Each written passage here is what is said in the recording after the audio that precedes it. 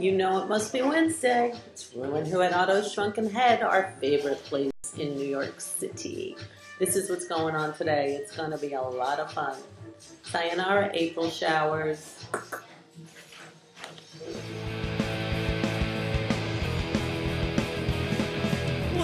I'm a repeat.